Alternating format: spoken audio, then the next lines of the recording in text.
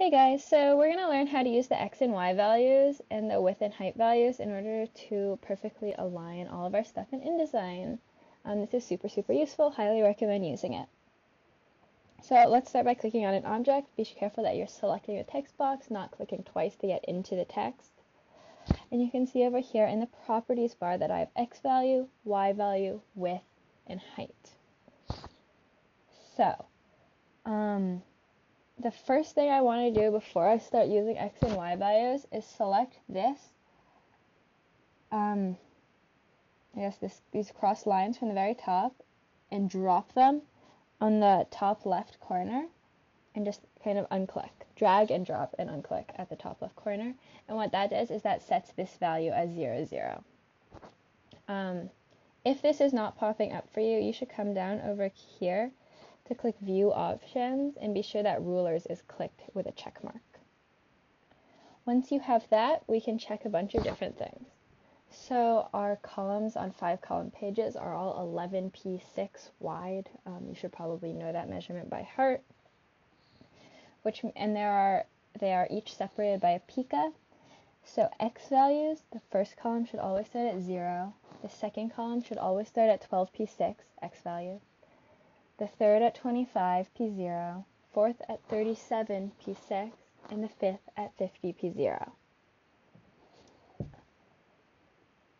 Um, but sometimes these are going to get a little misaligned while you're just fussing with things, dragging it around. So if I, you know, I, I accidentally do that or that or whatever, think, oh, that doesn't look right. I could drag it, but in order to make sure it's perfectly aligned, I can also just go here and say 50, and I know that's perfectly right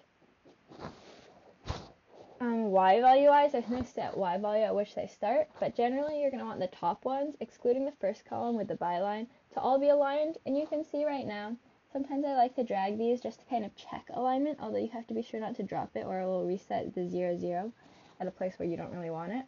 But you can see right now, it looks like the second and fourth are aligned. The fifth one looks a tiny bit off, and the fourth one is very off, and we'll deal with the byline and the first line after we do all the rest. So let's start with that third column. We want to start at the same y value as the other two. We can see that's 11p10.4. So I'm just going to go in here and write 11p10.4. But now it's too short, so I can drag it like this. Um, but in order to ensure that it's exactly the same height, I can also go here, look at the height of this column, which is 26p8.4, and I can just enter that here, 26 8.4 and it'll make it shorter cutting off whatever was too much at the bottom.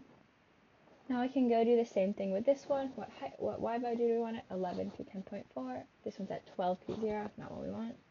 1 p 10.4. Is it the right height? 26 p 8.4. 26 p 8.4. Perfect. Now with this, what you want is you want the byline, the top of the byline, to align with the top of this text. And so we can say that we want the byline's y value to be um, 11, sorry, 11p 10.4. And so that should be lining up perfectly, and then you want about that much space between the text and the byline. And then it's not as easy to ensure that it lines up at the bottom.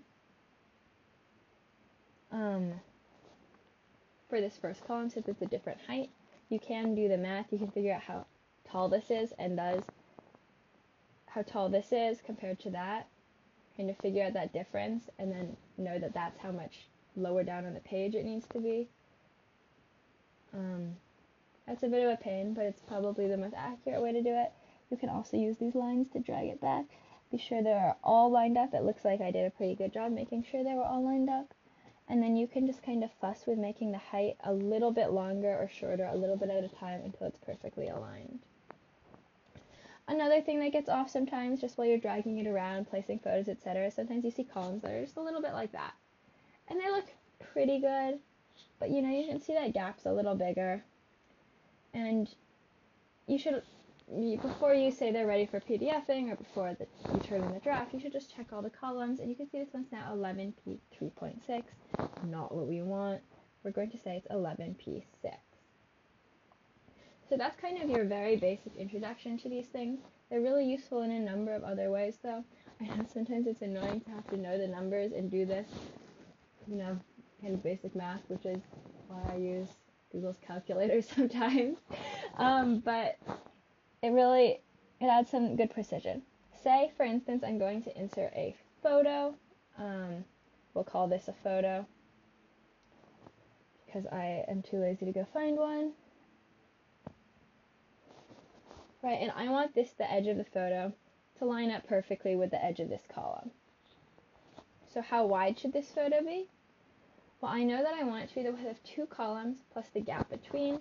Each column is 11p6, so 11p6 times 2 is 23 picas plus the gap between is 1 pica, so I know that I want this to be 24 picas wide. And I want it to start at the same x value as this, which is 37p6. So I'm just going to go back over here and say 37p6.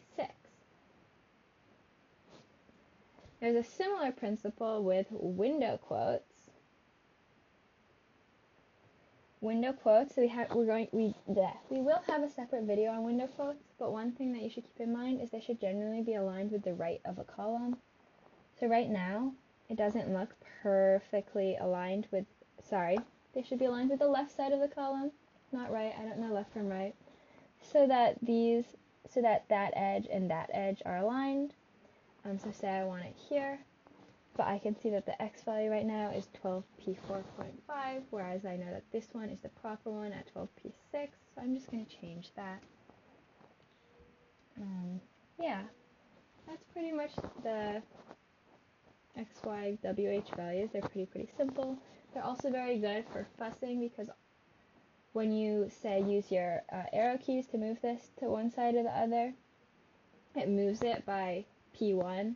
But if you want to move it by less than P1 or make it shorter or wider by less than P1, anything like that, uh, X, Y, W, H values come in handy because they can do it to a really, really excellent